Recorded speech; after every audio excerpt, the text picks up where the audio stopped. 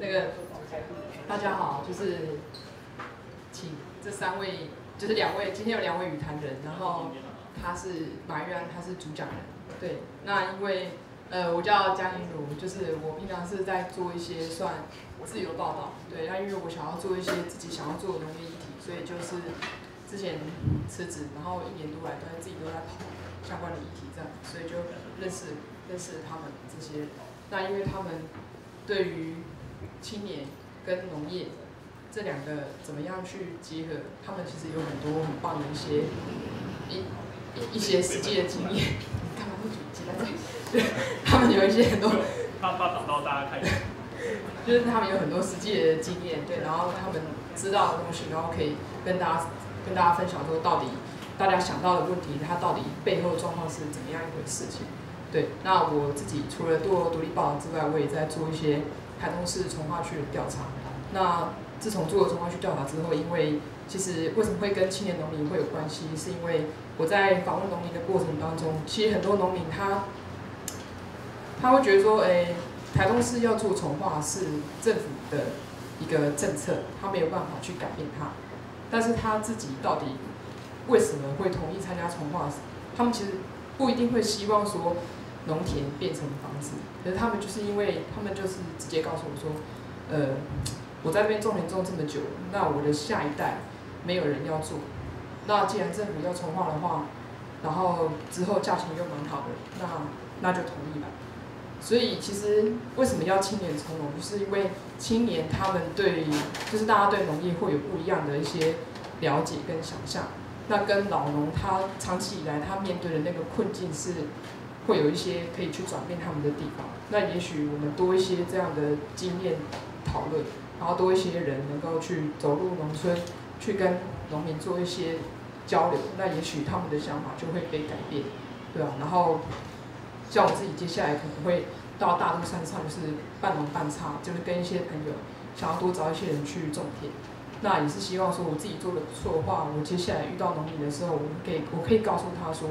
哎，我现在自己在种，然后我种了很多的东西，那我怎么样去跟其他人做一些合作，然后让农业它的价值提高，而不是说像农民一样，就是以前就是觉得说，哎，我降价贼啊，给小公他带这样子，就是让借由自己的经验，然后加上透过跑田野调查，可以跟他们有一些互动，这样，那也许慢慢的就是这些环境状况会被改变。对，好，那今天呢，这是。今天的这位，这位是主讲，然后这两位是语坛人，对，然后语坛人他现在是在那个台北的微风超市服务，对，然后他原本是毕业于嘉义大学的那个行销运筹研究所，对，然后他他研究的东西是跟通路产销比较有关，所以上个月有请他来谈产销的一些问题，对，然后所以之后的话，也许看还有没有机会可以再更深入跟他跟大家谈这样。然后另外这一位呢，就是何家豪，对，然后他现在是算就是农村再生，他就担任一些讲师，对，然后他自己因为他之前是做在验证单位工作，所以他对于很多有机验证啊，然后跟农场农地实际的状况，他还蛮了解的，对，然后加上他有到处去做一些一些验证，所以有一些经验可以跟大家交流，说到底各个地方他的农村的一些到底遇到的状况或是什么这样子。然后这位主讲马玉安，他现在是在大甲种种田，对，然后他他自己呃也跟附近的农民就是做一些合作，然后让让农民能够有一些转转作啊，然后能够有一些比较合理的一些销售的管道这样子。好，那接下来时间就先交给马玉安。好，呃，谢谢，呃，我自己在。青年从农这个议题，呃，关心这个青年从农议题的，大概有一些年一些时间。那最主要它的问题是，就是我是青年。如果今天有一个就是商人，就是说，啊啊，我是一个商人，然后我要赚大钱，就啊就不道德，不要脸啊，就是哎这怎么敢讲这个这个商人，然后什么将本求利，你怎么敢刺啦啦讲这个事情？我们敢赤裸裸的在讲，我们是青年农民，所以我们为青年农民发声。呃，是因为本身这个占了一个呃好像弱势的一个角色，或是他是一个呃看起来他呃在社会的接受程度上面，他比较不被大家接受。我很希望啊做这样的动作的时候，不是只告诉大家这个事实是什么，也同时的是呃为我们自己的服务这样子。呃，这样讲起来，你不知道你会不会觉得，哎，还不是一个自私的人，好不好？OK。啊，我自己在嗯，在在中呃在大甲种田，那我们有一个提根计划，你可以 Google 可以 Google 到字很小，就是怕大家呃一直 Google，然后呃一直呃 对啊，去年的时候呃农委会选了一百个青农民青年，然后也是其中的一个，呃谢谢政府的关照，这边有一些来自政府的朋友们。欢迎你们。我我自己在中心大学，我是博士，呃，那个，呃，我是博士候选人。那呃，所以有时候站的角度不太一样。呃，自从我成为农民之后，我发现那个感觉特别不一样。我在跟这个政府的官员在讲话的时候，我发现，哇塞，我还有力道哦。OK，好，我们就进入今天的今天的主要的，就在讲青年从农，然后我们从人口危机下的台湾来看台湾农业这样子。啊，为什么讲这个事情？就是呃，我们要仔细，我们来看下一个。不是朝那，哪个朝这 ？OK，农业的核，农业的核心就是人类嘛。农业的核心是人类。你可能会听到很多不同的议题在讲啊。农业，比如说你会听到土地正义，听到啊什么粮食安全啊，会听到什么很多不同的概念。啊，如果这个农业里面没有了人，这个这个重要的角色，其实没有太大的意义。啊，这个是非常重要的观点，只有人类才有农业。所以你可能会想说，某一些生物，它可能会因为它的共生的状态，它可能会去培养什么样的事情。啊，这是有的，可是它从来不像台湾啊，不不像人类一样，就是可以这么多元的去养不同的东西，而为了目的就是要让人类可以不断的延续，这个很重要的一个观观念。所以如果是这样子的话，其他事情不是那么重要。OK，如果不是跟人有关的，直接核心关于人的事情，它不是那么重要。还有就是，如果是人的事情，我们要先关心，这个是很重要的原则。好，人口危机加农业有那么严重吗？我不知道你怎么想，就是呃，在讲青年问题、青年农民问题的时候，有时候会想说，哎，有没有搞错啊？外面那么多老农，你不讲，你在讲什么青年农民？你哪那么重要？我不知道，就各种不同、不断的想法，为什么会这么想？其实我们的国家的政策，很多的政策，事实上是补助老农啊，或者是很奇怪的补助方法，或者是支持不是那种永续的方法。那我们就必须来去思考，到底人口危机和农业到底是什么样子的一个结合，它会发生什么样的一个现象？我今天比较主要的谈就是这个现象。那我们有语坛人，他们会去回答大家各式各样的农业问题，这样好不好？好，我们就多留点时间让大家问问题。OK，好，事情从一个事情开始，就是有一天呢，呃，我跟我的朋友在聊天的时候，我们想，哎呦，对我怎么是单身？哎呦。他怎么是单身？哈 哈哦，这个很有意思哦，就是他怎么是单身，我怎么是单身？哎，奇怪，都快三十岁了啊，怎么会发生这种事情呢？好，我们就在讲农村的三单，呃，有些人在讲三单是讲什么？单什么单什么？OK，农村三单，新三单，单双单双块，单人床，单波浪，单波浪，那 变成孤掌难鸣，孤枕难眠。那我们就在谈这个事情的时候，啊，我们就在想，哎，一定要有一点作为。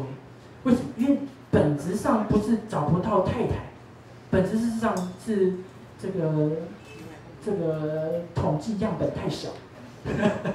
不知道你有没有学统呃学统计啊？样本太小，母体不够大，好，所以这个那个呃没有办法找到合适的。哎，如果是这样子的话，那我们就要讨论到底这个样本到底是怎么一回事。这个人口样本都是怎么一回事？好，因为我们就各自写了一个文章，然后各自写一个文章之后，就就呃就在上下游泼了出来，然后很多人就会觉得很有很好玩。那你可以去看这个文章，我觉得蛮有意思的。那我讲的比较正经八百，你同样可以去对应看那个杨杨宇凡在写的，那也蛮有意思的。OK，好，呃，事实上啊，事实上，呃，补充一下，事实上，因为国外的政府在做这件事力道比较强，还有一些什么节目啊，啊，什么帮农夫找太太，很有意思。OK，好，那呃，所以就报纸上就登出来了啊。听说最近这个硕士女农夫，这个好像已经恋爱了。恭喜他。OK，好。我们在讲一件事情，刚才讲人口，还有在讲就是人口结构，或者讲人口危机，叫就其实直指的就是什么？老年化社会啊，就是老年化，就是老年化的社会，这是世界的老年的人口的分布。这个是在二零二零年预测的结果。你可以很快的发现，年轻的地方会在非洲，如果是在发展中国家，它的年纪会越来越大。就是越来越大的话，如果我们直接看，啊，世界农民的平均年龄大概就是六十岁，那可能有一些国家比较年轻，有些国家比较年纪会比较大一些些，那这个就好玩了，凭什么他的农妇年纪会比较年轻？如果他是又是一个融合老化的国家，一样的老化国家，他凭什么比较年轻？他什么条件？他什么政策？好，什么样的环境？好，巴西五十二岁，美国五十七岁，非洲六十岁，日本六十六岁。好，有没有人告诉我台湾几岁？六十五、六十四、平均年龄呢？平均年龄好，我们就打在这个地方。我们等一下再继续看数据啊。好，有资深的国民，就有更资深的农民，这样子。我们用资深挂号。好，啊，你就知道我们避免讲什么老不老的，好不好？不好听。资深的国民就有资深的农民。好，我们放一个 video。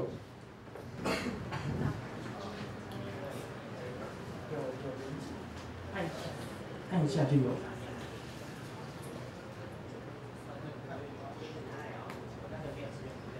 没有，它不是会带，可以开。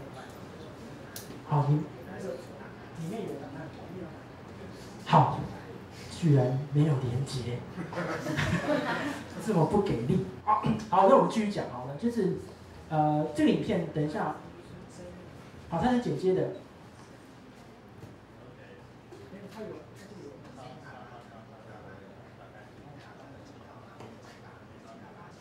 没有接喇叭线，那我自己配音哦，好，噔噔噔噔噔噔，可以吗？完全没有耕作经验的马渊，种田超过一甲级的伯父是他的指导老师。好，长久以来以惯性农法耕作的农妇，对于马渊无毒耕作的田间管理方式。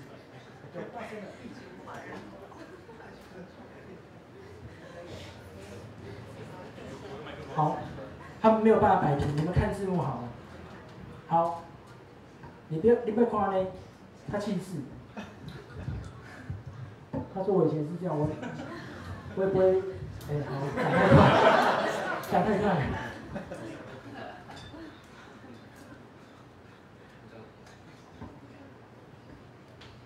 没，没压力超济，好笑嘞，嘛无咧读，歌咧袂，人讲会使。做无挂无，人讲要做游戏，白下，一地两种，一对我操，一对我丢啊！好，可以暂停了啦，反正声音没出来，啊，这 gay 的样子大家看一下，可以关掉了。好，PPT。回刚才那个播，刚才这个不要播，放在前面这个就好，因为这是剪接的。因为事情很，听着这因为前面前面刚才那个七十几岁，这个是关键。手祖父的红历史，种田超过一甲子的伯父是他的指导老师。长久以来以惯行农法耕作的伯父，对于马玉安无毒耕作的田间管理方式，一直无法认同。在笑谈中可以看出两代之间理念的差距。我国好拿业，哎，拿面面业就开始做产做嘛。啊，要七十几岁，你要看安尼，叫伊搁六十外呢？出出事啦！嘿啊，七十几岁啊，伊。啊，那较早我嘛常管，我若要放落来，我啊，若要看咱教安尼，教教啊，伊就无照好咱方法，就就看尔安尼。我就拢无讲，啊，连讲爱照咱教伊都袂用哩。袂用嘞，袂袂用也比较济啦。啊，袂啊。我无伊啊，我我。啊，咱咧看看安尼袂用，你讲会用哩。有啊，认真甲认真做无挂无啊。啊，伊若要做一批的啊，啊做一批咱做袂下。啊，就第两种啊。一个两种啊，对。啊，两种一种我插一种油啊。好，谢谢，谢谢你。OK，好，呃，要让大家看到一件事情啊，就是，这是我刚刚第一年在种田的时候，他们在讲，我的伯父在讲第一他们第一年种田的情形。我们第一年种田在摸索的过程当中，的确很多的生物自己不太知道怎么使用，所以我们呃有些时候还是生疏。那你也会发现，我田间的老师，田间的导师是一个七十四岁的农民。我不知道你怎么想的，哎，干嘛不找年轻的？我去上哪找年轻的？你知道我的林田的一个阿伯，他是啊，也是七十八岁了。我我我在想，我怎么样跟他沟通，他永远都听不下去的。呃，他没有办法了解说为什么，呃，我不用农药在施作，他没有办法去想，当今政府没有要收二期稻作的这个再生稻的时候，他该怎么办？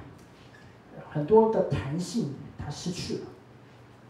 那甚至他没有办法想象，为什么今年这个当气候暖化的时候，收成可以那么差？啊，如做法不在调整的时候。就这个怎么样可以达到？我们在看刚才在讲这个台湾的农民的年纪那么大的时候，我们就会想为什么是这样子？我可能我看到的是一个倒作的情况，倒作因为百分之九十几的自动化或是说机械化栽培，以至于我们的稻农的平均年龄是比较高的。这个在日本也是同样的状态。那到底在这个？以统计的数据来看，的时候到底是怎么样一个状况？啊，在这个地方我有六个画六条线，六条不同的不同的这个人口年龄分布。大概从呃九十九年的农业普查，好，每五年中华民国政府会做普查，然后再来人力资源调查表，我们可以看得到，基本上你不管你怎么样看，你会发现除了农户户内十五岁以上人口。啊在这边的分布会比较多一点点，基本上，啊，基本上有从事农牧业工作者，在这些部分都是很都很少的，都很少，啊，那你发现这个地方非常多人，啊，非常多人，啊，它是一个偏态的，呃，甚至你去看平均根本不太准了，对不对？因为它是一个偏态的，他当他偏态的时候，他说这里是六十二点二岁平均，意思是什么？这里的人口跟这里人口加起来是一样的呀。平均哎，这么多人，那这样子很可怕，它会影响什么？六十二岁，基本上你在外面工作上班也要退休了，可是你居然还在这个职场里面，你还是社会主力，你还是这个职场的主力，那当然很多情形就不太容易改变，很容易僵化。那我们再继续看下一个啊，就是这有很多，其实有很多我们可以细讲，不过我等下。大家有一个 image，等一下问问题就好了。对，好，未满未满十五岁人口占农牧户人口中的十三趴。呃，如果按照一般的话，一般大概就是社会上的一般的家庭里面，就算我们是老年化，大概是十五十五趴那样子，啊，就是有两 percent，还有一个差异，也就是再来六十五岁以上的人口占农牧户数的二十趴，可是全国才十趴，你知道多了十趴，这十趴就是。大部分全国的老人都到农村了，这个多了十趴这样子，所以这个比例就是比较多的。OK，好，农村年轻的少，老的多。那你会说这是一个台湾就是啊，就是城乡差距啊？我我不知道你怎么可以想象这是城乡差距的一个问题。今天台湾在任何一个地方啊，它的坐车在一个小时以内可以到市中市中心。好没错啊，可是也许新生儿会生会生在大都市，那边有好的条件的的这个这个呃教育环境。可是我认为啊，这么大的比例是一个很可怕的一件事情，它会影响就是整个在农村的发展。你农村幼稚园开不开成？没有开得成。如果农村幼稚园开不成，那我去哪里生？我的孩子去哪里上学？对不对？这是很夸张。你知道日本有一个经历，他们人口老化到一个程度的时候，因为呃新娘不容易嫁到这个村子，可是这个村子是种种啊，好像是种莴苣叶吧，就年收入是平均是六百多万这样子台币。那可是就是没有人，就是年轻人找不到太太了，所以怎么办？他们只好。那个村长只好想一个办法，怎么样让这个公车可以到他们村子？怎么样可以有就是那个学龄前的幼童的照顾照顾的系统？啊，有有图书馆可以可以开放二十四小时，什么什么这些，他想办法让它变得很便利，以至于让外来人口可以进来，回到农村里面可以工作，可以呃可以成为生活。所以很重要的是，我们没有在谈一个事情，是谈就业环境。我们不是在谈一个就业环境，我们谈一个是。生活环境，好，它是一个生活环境。我们如果再看一下这个比例，呃，哎，那边名称不见了，好，奇怪，怎么做这种 PPT？好，基本上，基本上啊，基本上就是外面人口啊，外面的工作人口是一千多万，那农业人口，农业工作人口是五十几万人口这样子，五十几万人口拉到这个地方来看年龄分布，我真的搞不懂为什么这样。好，好，不过我们可以看颜色。就是看颜色，灰色就是十十五岁到四十岁的工作人口，在一般上班是这样子，农业是这样子，啊，是非常大急剧的比例。就是很简单的讲，就是到农业来工作的，来来做事的人的平均年龄啊是比较大的。可是很吊诡的是，这是一个极力需要体力的工作，它是一个极力需要这个劳动力的一个市场。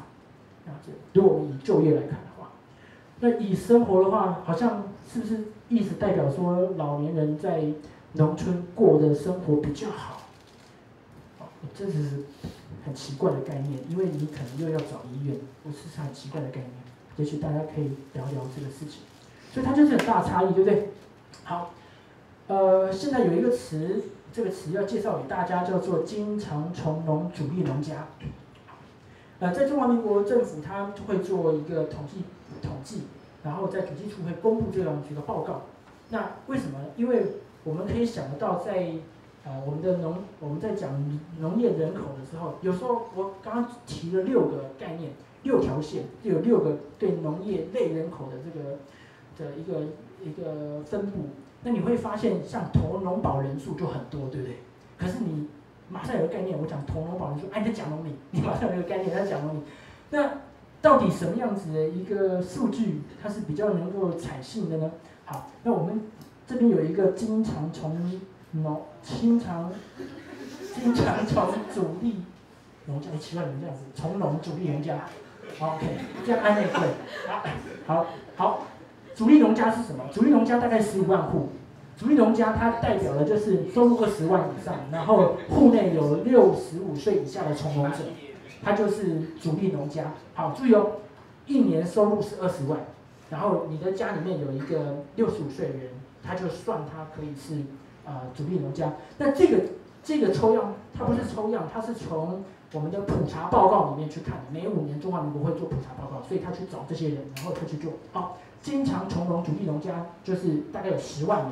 所以这个十五万就开掉了，变成十万人。好，它的门槛是什么？门槛是全年从事农业工作在九十天以上，户内有六十五岁以下从农者。好，所以我们刚刚又提到一个概念，就是如果我们把主力农家的概念啊讲比较透彻，就是说，它不是只有它的收入或是它的这个劳动力，它也包含了就是它到底工作多少天。那你有时候会想。那这样子想想，是不是经验农种了那么多？就是他如果是种水果的，他一年可能忙的时间真的不是那么多，不见得有九十天。或是你会想一些，好，今天这边讲的就是九十天以上的，所以他说经常从农主义农家，经常从农主义农家会被特别去讲，是因为他每家全年农家收入平均是一百六十九万七千元。它占整个农家收入比达八十七 percent，也就是今天大家大部分吃到的农产品有八十七 percent 是来自于经常主力农家，那这个数据就是很重要的。我不是呃特别要讲说啊，你你你种田体验或者是种田 for fun for 啊退休生活有什么样子的不好，我不是在特别讲这个事情，我只是主要来讲，就是这八十七趴的从农者应该是被关注的，啊，这八十七趴就是八十七趴应该要被关注，因为它生产了八十七趴的。农作物，所以你应该要关注它到底，不然你的你的食物来源还有你食物的品质就会产生问题嘛，对不对？好，下一个，好，那主要的工作人就是十万人啊，十万人，我们如果再看刚才那个数据，啊，我们就会发现，啊，六十五岁以上的有二十三趴，十五到二十四岁几没几乎没有人，然后另外一个是。呃这边是，哎，他写错了，是不是？六啊，六十五岁以上，六十以上二十三趴，然后四十四岁到六十四岁是赚大饼，就叫六十五趴的比例嘛，就是这个是，这个是四十四到六十四，然后中间那个就二十五岁到四十四岁，好，它占的一个比例，它只有一万两千人，它只有一万两千人。呃，如果我再讲一个比较夸张，就是这一万两千人。是二十五到四十四岁。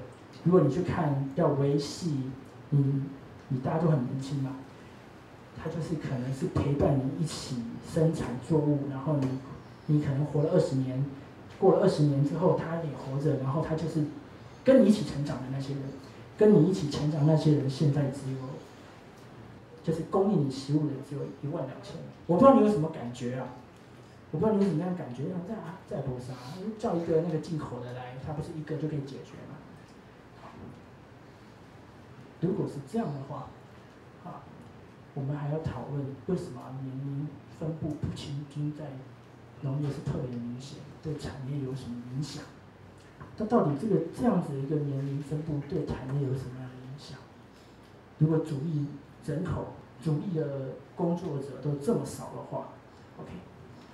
好二零一八年人口进入负成长，就是啊，这个讲的，好，弄几挖够，几挖够，人口进入负成长，就是出生跟死亡，啊，死亡一年过呀，这样子，啊，死的人已经比这个出生还要多。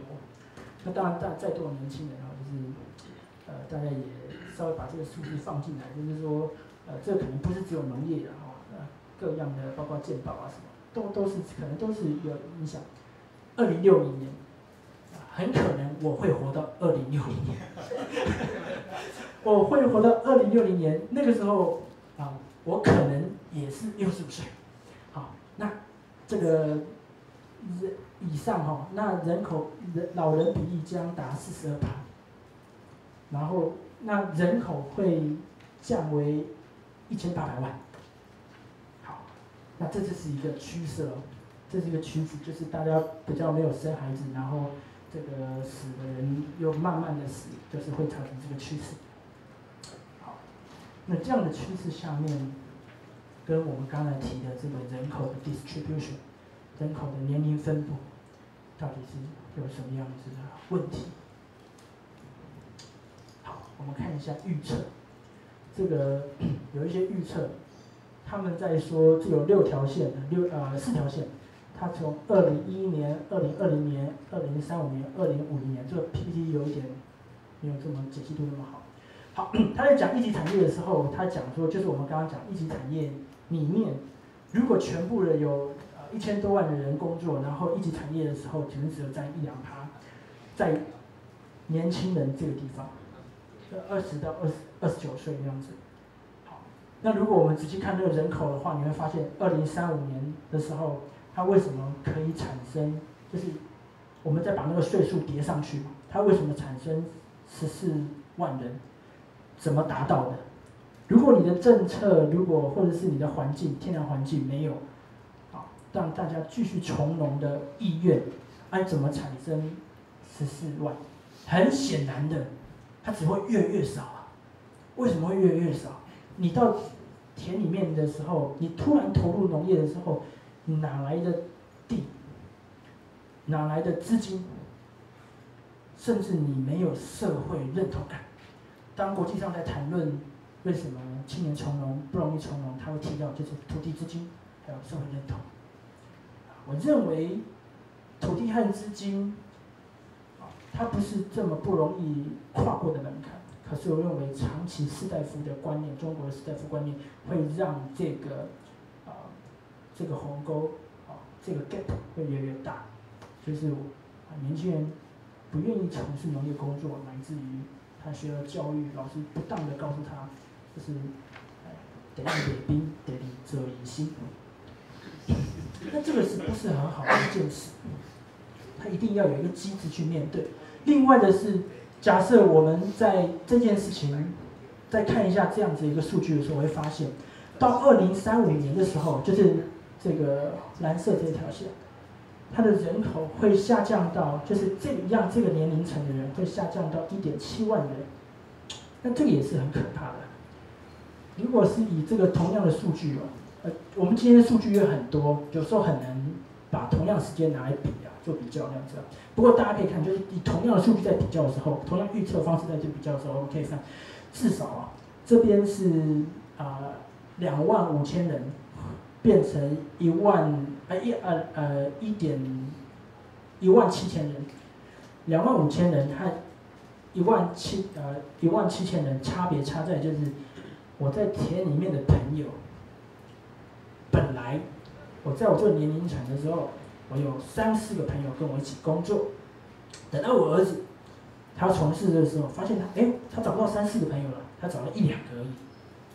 那这样不是啊？因为你人际关系不好。不是，我在讲大环境。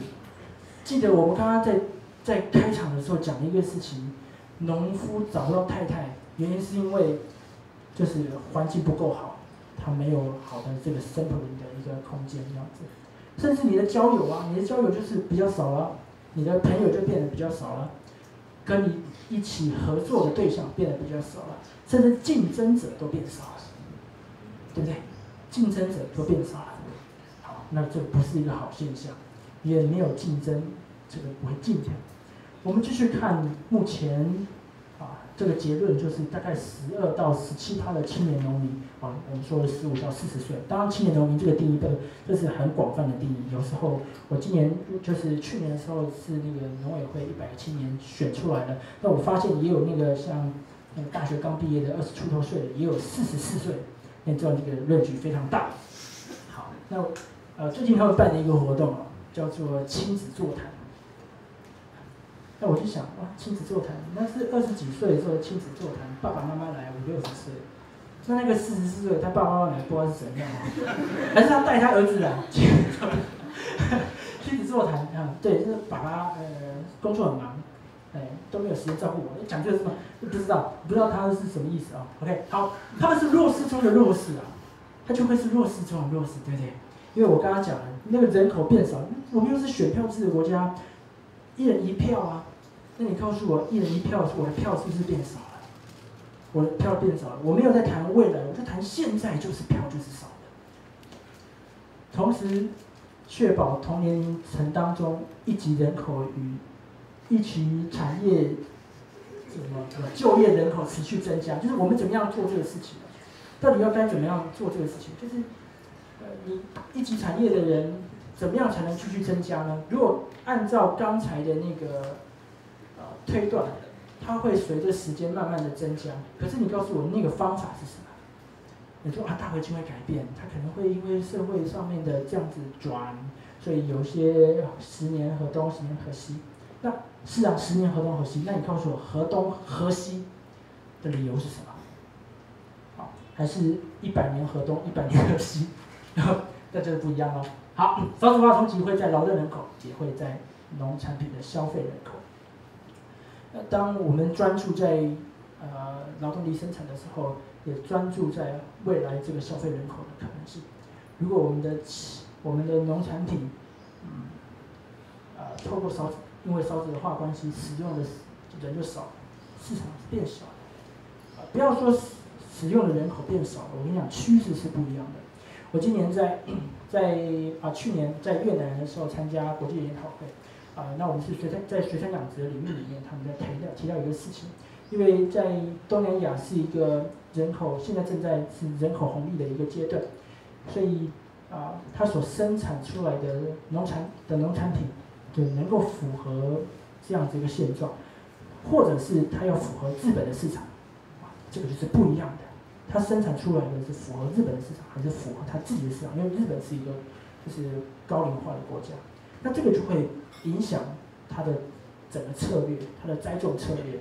那很有可能啊，很有可能某一些品种会因为这样的策略上面被牺牲掉。讲一个简单的例子，比如说老年人口增加的时候，你的米就不能种太 Q 好，就。不能种太 Q，，要够软。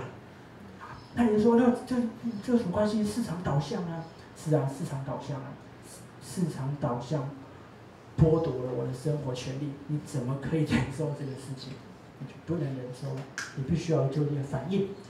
不管怎么样，我们刚才讲人口资人口问题，还是老化啦，还是这个分布啊，或是农产品要卖给谁等等这个问题，不管只要是牵涉到。这个呃人口分布，我们必须要，我们就可以知道一件事：更少的人口将管理更多的资源，这会是一个最重要的承担。我自己在田里面工作，那我常常发现一件事情，最明显就是那条水沟啊，我田旁边那条水沟，怎么会是我管的呢？就是你知道，过去可能这条水沟有一百个农民在抢水。里面干净溜溜，不会有垃圾的。可是现在垃圾依旧，只是管理的人只剩我。捞垃圾的是我，弄杂草的也是我，除淤泥的也是我，连管那个水要不要来都是我。那其他农民为什么不做？他也用我的水啊？没有，因为他老了，年纪大，他没有办法经得起你的折腾。更多的资源需要管理。农业环境更要一样的诡谲嘛，对不对？一样的诡谲，你有环境污染问题、食物安全、粮食自给率、防疫、防检疫、能源危机、国际自由贸易、气候变迁。最近很好玩，他们在谈论为什么大家要插秧，他插秧哦，割到啊奇怪，安安倍晋三都插都开插秧机，那我们的政治人物就很奇怪，就是要这样子弄。啊，当然有一些那个啦，哈，幽默一下，幽默一下。那它有很多的原因影响这个事情，我们等一下再谈。可是最主要一件事情是，我们怎么想都会觉得，哎，安倍晋三很用心。我不知道你有没有这种感觉？很用心呢，嘿，啊，他一边跟人家说我会插秧，一边还说，哎，我们国家都是生产这个插秧机的。好，那那就是。你看这个就我就不知道了哈，因为对，我就不知道要怎么说明，就是笑得很开心，第一次种田嘛 好，当我们的农业没有年轻人时，啊，到了一个你知道那个啊玉兰花哦，玉兰花很特别，在还没有开的时候。啊，没有什么香味，让它开一点点啊，这香味就非常浓。如果开太大，龟波逼啊，啊，啊叶子会掉下来。我说，当我们的农业没有年轻人时，就是两百七十三年前郭喜油盖的柳公郡，八十年前基田兼雄盖的白冷郡，八十三年前八田一盖的江南大郡，不知道回去从何从。也许渐渐失去灌溉功能的水圳，会成为都市计划中的大牌，有没有？大牌在台北好像就是大牌。好，当我们的农业没有年轻人时，不管是台湾的稻米，曾经有数百种，还是现在数十种热门品种，都会慢慢在市场上消失。前人努力育成的水果啦、青菜啦、瓜果、根茎类花卉、家禽家畜，也会慢慢被遗忘。好，它就会变成。主力的，因为你没有人力可以维持这个事情。